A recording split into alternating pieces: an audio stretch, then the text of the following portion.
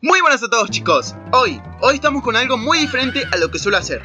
Estoy realmente hypeado chicos, ayer salió el tráiler de los remasters, o remake como quieran llamarlo, de Crash Bandicoot. Y la verdad que me quedé muy sorprendido con el resultado la noticia de los remasters la escuché hace unos meses y ahora por fin salió un tráiler mostrando el estupendo trabajo que hicieron.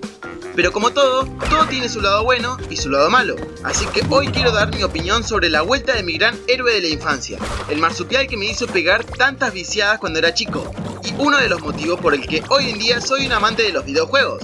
Pero primero que nada, empecemos desde el comienzo. ¿Quién es Crash Bandicoot? Muchos de la generación actual, ok, parezco viejo hablando así, pero bueno, muchos no deben conocer al gran Crash Bandicoot, seguro estarán pensando que no es nada famoso, pero bueno, en sí están en lo cierto. Hoy en día ya no tiene ni la mitad de la fama que tuvo en los años 90. Crash Bandicoot fue un juego de plataformas desarrollado por Naughty Dog y distribuido por Universal Studios para la primera consola de Sony, la PlayStation, pensado para ser su gran mascota, y créanme que lo consiguió por años. En 1996 salía a la venta Crash Bandicoot, y luego en 1997 salió su precuela, Crash Bandicoot 2, y en 1998 Crash Bandicoot 3. La popularidad de nuestro querido marsupial crecía cada vez más, pero Naughty Dog nos deleitó con su último juego, que fue un juego de carreras que en mi opinión fue demasiado bueno para la época. Estamos hablando de Crash Team Racing, un juego parecido a Mario Kart, pero realmente entretenido y con el carisma de Crash. Lamentablemente, después de este último, Naughty Dog dejó la saga. Desde entonces, Crash fue pasando por diferentes desarrolladoras, como Eurocom, Travel's Tales, etc. Pero ninguna pudo lograr lo que Naughty Dog hizo en su momento. De esta manera, la imagen de Crash se fue deteriorando a través de los años, quedando así en el olvido. Sinceramente, la diversión, el carisma, su diseño, todo se fue para la niña después de que Naughty Dog se fue en 1999. Pero sin duda, dejó unos grandes juegos y formará siempre de la infancia de muchos, y de esos muchos, yo me incluyo. Pero nada está perdido. En la E3 de este año, Sony nos emocionó con una gran noticia. Se anunció la remasterización de los primeros tres juegos de Crash Bandicoot. En su momento, todos creíamos que era una mejora de texturas y una resolución para las nuevas consolas, algo no tan innovador. Pero el día de ayer, 3 de diciembre, en la PlayStation Experience se dio a conocer finalmente un tráiler del que será Crash Bandicoot Insanity Trilogy. Buen nombre en mi opinión. Algo largo pero está bueno.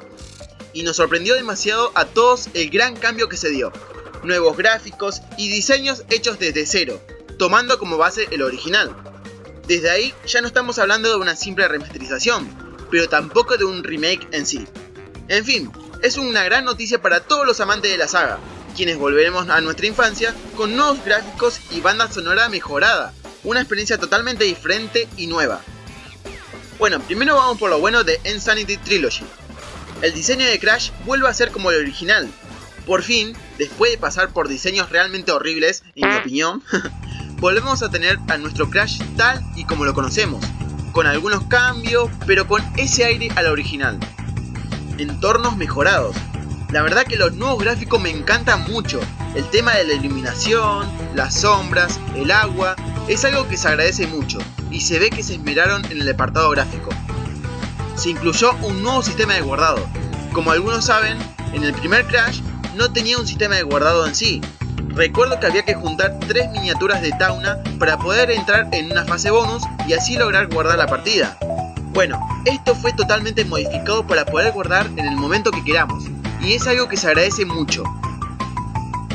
No todo es bueno en la vida, también tenemos las cosas malas, pero tranquilos, tampoco son tan malas, solo son pequeños detalles. Los actores de voz cambiaron. Si recuerdan la voz de Cortex en Crash Bandicoot 2 y 3, lamento decirles que parece ser que hubo modificaciones en los actores de voz. Esto se puede ver en la intro del primer juego. Cortex, We haven't determined the cause of past failures. Moron!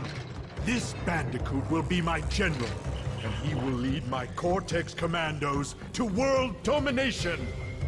This time, I shall reign triumphant. Por cierto, olvidé mencionar que en la PlayStation Experience hubo una demo donde muchos pudieron jugar dos niveles del primer juego y ver la cinemática inicial.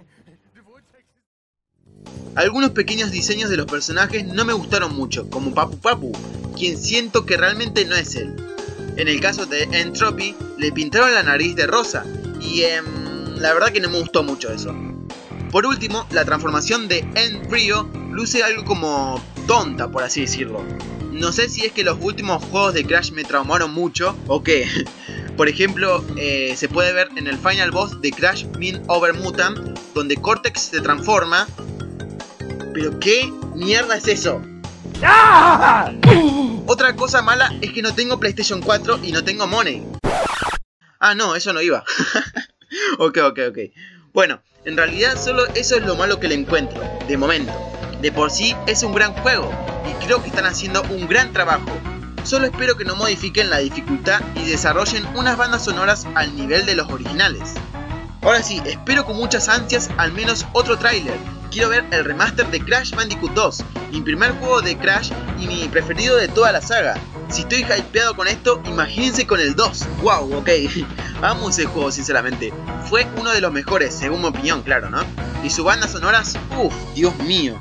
Ok, ok, me calmo, me calmo. Pero bueno chicos, espero que les haya gustado el video y las personas que no me conocen solo les diré algo. Hola. Ok, ok. Espero que les haya interesado mi opinión y análisis. Y si les gustó el video, no olviden dejar su buen like. Me anima muchísimo a seguir creando contenido.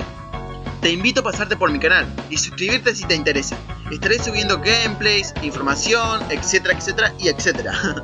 ¿Vieron? Les dije que iba a volver.